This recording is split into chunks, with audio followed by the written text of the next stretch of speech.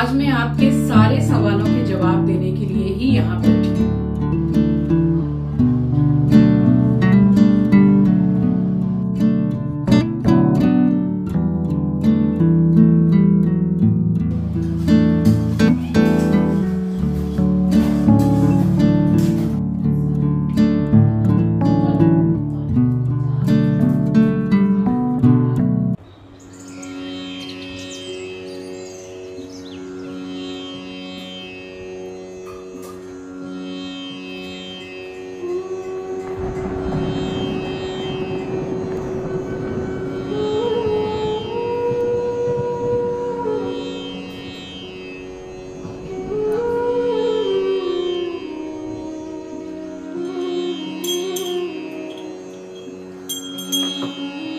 Hello everyone, welcome back to the channel. I hope you all are doing really very well.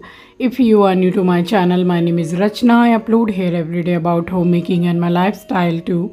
If you like such content then don't forget to subscribe my channel for my upcoming interesting videos. और आज दिन है बुधवार और ये blog कल का ही है यानी कि मंगलवार का तो सुबह काफ़ी कुछ काम मैं कर चुकी हूँ और यहाँ पूरी साफ़ सफ़ाई करके मंदिर में मैंने की है भगवान जी की आरती। तो मम्मी गई थी भूतनाथ, मंगलवार मम्मी भूतनाथ जाती ही हैं तो वहाँ से सारा सब कुछ फूल, बेलपत्र, तुलसी पत्र लेकर आती हैं। तो वही मैंने सब मंदिर में सजावट कर दी है, चढ़ा दिए हैं और उसके बाद दीपक को प्रज्वलित करके मैंने की है आरती।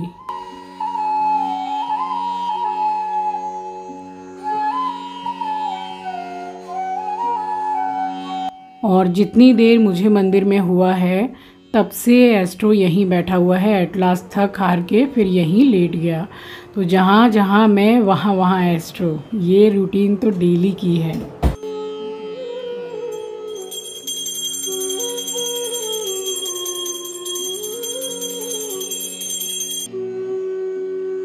सो so, पूजा तो हो गई थी। फिर मैंने सोचा कि बहुत देर से बैठ के वेट कर रहा है और इसको नीचे जाने का ही लालच रहता है। तो बस मैंने सोचा कि ब्रेकफास्ट बाद में करूँगी। इसको पहले एक राउंड लगवा के लाती हूँ नीचे का। सो चलिए, सुबह का समय है आप सभी को सुबह की राम राम जी। सुप्रभात गुड मॉर्निंग और जैसे ही मैंने बोला है कि चल नीचे चल तो एक एक्स्ट्रा एनर्जी लेवल आ जाता है इसके अंदर नीचे चलने के नाम से। सो भाग के आया है पीछे और इसको नीचे घुमा के लाई हूँ। फिर मैंने दवाई खा के नाश्ता किया है। और यहाँ ये गोविंदो भोग चावल ख़त्म हो गए थे तो डब्बे में भर के रख रही हूँ।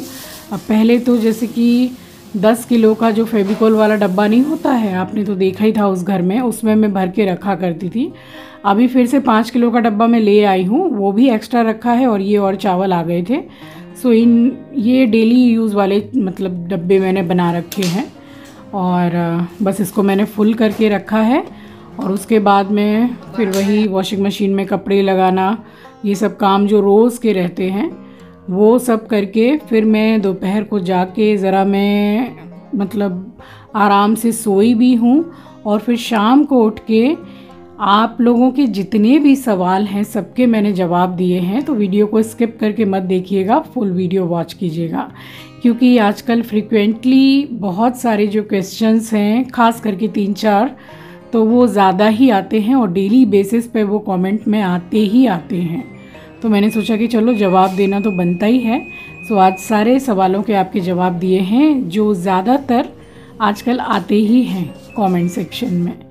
और बस यहाँ लगा दी थी मशीन और उसके बाद मैंने जाके किया है थोड़ा रेस्ट और फिर आपसे मिली हूँ मैं शाम को।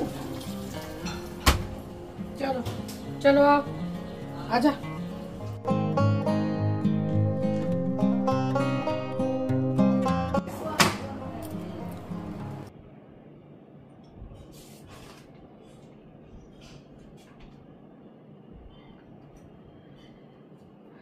अब मैं आपसे मिल रही हूँ शाम को। शाम को यानी कि छुटपुट अंधेरा हो गया है, साढ़े सात या आठ बजे का टाइम हो रहा है। तो बस आज मैं आपके सारे सवालों के जवाब देने के लिए ही यहाँ बैठी हूँ। मैं एक खुली किताब हूँ, जो हूँ, जैसी भी हूँ, आपके सामने हूँ। आज मैं जो आपके सारे सवालों के जवाब देने वाली हूँ, वो आजकल बहुत ज़्यादा कमेंट सेक्शन में आते हैं। मतलब फ्रीक्वेंटली आते हैं वो क्वेश्चंस और जब से मैं इस घर में शिफ्ट हुई हूँ, तब से ही वो क्वेश्चंस बहुत ज़्यादा आ रहे हैं। तो फिर रिप्लाई करना तो बनता ही है। तो बस मैं आप ज़्यादा देर नहीं करती हूँ रिप्लाई करती हूँ आपको। तो सबसे पहला जो सवाल है कि इस घर को लेने के लिए क्या आपने लोन लिया है? तो आपके सवाल का जवाब है हाँ जी लोन लिया है मैंने। क्योंकि पॉसिबल नहीं हो पाता है ना। अब आप ये देखिए कि हंड्रेड में से नाइन्टी फाइव परसेंट जो पर्सन होते हैं, लोग होते हैं, वो घर खरीदने के लिए लोन लेते ही हैं। क्योंकि इतना ज़्यादा पैसों का अरेंजमेंट और इतनी ज़्यादा सुविधा किसी के पास नहीं होती है। ये हंड्रेड में से कोई पाँच परसेंट लोग ऐसे होंगे जिनके पास अरेंजमेंट है और पूरा पैसा एक ही बार में पेड करके उन्होंने घर ले लिया या दुकान ले ली। ऐसा सबका नहीं होता है, जैसा कि आप सभी को पता है। तो लोन तो लिया है मैंने और चुकाना भी है बट वही है, मैं यही सोचती हूँ कि ठीक है, जहाँ कुछ भी नहीं था, भगवान की कृपा से, उनके आशीर्वाद से, आज घर भी हो गया, सब कुछ हो गया, बच्चे बड़े कर लिए, पाल पोस के, बच्चे पढ़ लिख भी रहे हैं और जॉब भी करते हैं तो ठीक है सब कुछ भगवान ने दिया है। मैं एकदम सेटिस्फाई हूँ इस चीज़ से, संतुष्ट हूँ। और जैसे लोन लिया है, वही है कि कुछ भी नहीं था, अब इतना सब कुछ है तो उसी तरीके से आस्ते आस्ते लोन भी ज़रूर से चुका लिया जाएगा। बट ये है कि लोन रहता है तो थोड़ी टेंशन तो रहती ही है बट वो इट्स ओके क्योंकि लाइफ है तो टेंशन है। जब तक लाइफ रहेगी, तब तक टेंशन रहेगा। तो इतना टेंशन अगर करेंगे तो फिर जिएँगे कैसे? सो आई होप कि इस क्वेश्चन का मैंने आपको रिप्लाई कर दिया है कि हाँ जी लोन तो लिया है। और सेकंड uh, क्वेश्चन कि आपका घर कितने स्क्वायर फीट का है? और बिल्डअप uh, एरिया कितना है? कारपेट एरिया कितना है? तो ये जो मेरा घर है इसका जो बिल्डअप एरिया है वो है 1385 यानी कि पंद्रह कम चौदह सौ का एरिया है ये। बड़ा है। और कारपेट एरिया जो है, वो है हज़ार स्क्वायर फीट का। तब भी बहुत बड़ा है। जैसे कि आप देख पा रहे हैं, पूरा फर्नीचर सेट करने के बाद भी काफ़ी स्पेशियस दिखता है घर। क्योंकि उसी हिसाब से फर्नीचर वगैरह लगाया भी है मैंने। मतलब वो नहीं किया है कि जैसे बहुत ज़्यादा फर्नीचर घुसा देते हैं ना घर में। यहाँ सोफा, यहाँ टेबल, यहाँ फ्रिज। तो वो क्या है? जगह नहीं बनती है, जगह दिखती नहीं है। चलने फिरने में भी दिक्कत, दिखने में भी अच्छा नहीं। तो इस चीज़ के लिए तो मैं एक अलग से ब्लॉग बनाऊँगी और आपको पूरा अपना आइडिया मैं शेयर करूँगी कि कैसे दिमाग लगा के बनाया है घर को, जो आपको देखने में इतना स्पेशियस लगता है। ये बात मैं इसलिए बोल रही हूँ क्योंकि ये चीज़ भी बहुत ज़्यादा कमेंट सेक्शन में आती ही है कि आपका घर काफ़ी बड़ा है।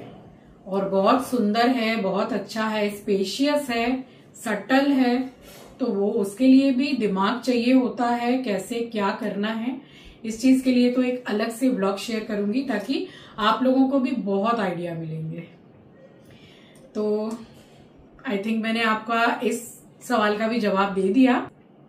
और तीसरा जो क्वेश्चन है घर आपका कैसे चलता है? तो देखिए प्रीवियस ब्लॉग में भी मैंने बताया था आपको कि अब मैं जो दो ढाई साल से, अब तीन साल हो जाएँगे तो मैं यूट्यूब पर हूँ। यूट्यूबर हूँ, रोज आपसे मिलने आती हूँ। तो मैं भी वीडियो एवरीडे पोस्ट करती हूँ। ये मेरी जॉब है।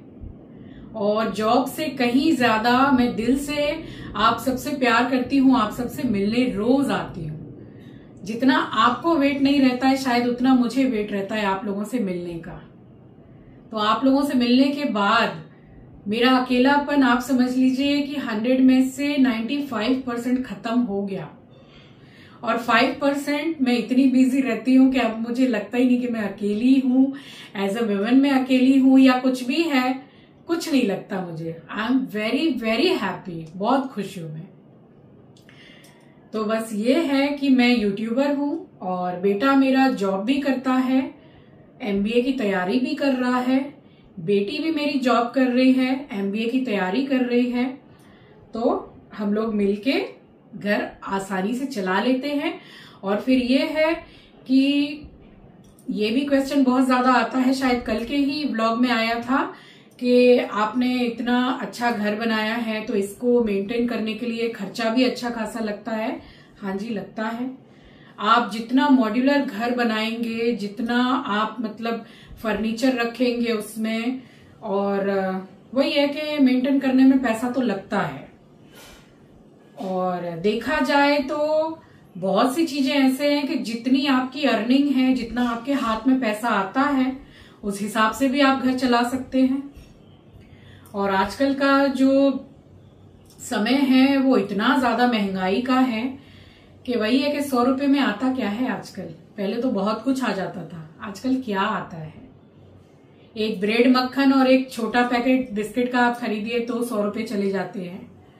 मक्खन भी छोटा वाला पैकेट आता है, बड़ा नहीं आता है तो महँगाई तो है। एक एग्ज़ाम्पल दे रही हूँ आपको मैं। तो ठीक है, जितना है, ईश्वर की कृपा से बहुत ठीक है, संतुष्ट हैं। दो रोटी चैन की खाके सोते हैं। और रही बात मेंटेन करने की घर को तो बहुत सी चीज़ें लगती हैं। ठीक है, अभी नहीं है, कोई बात नहीं है, बाद में होगी।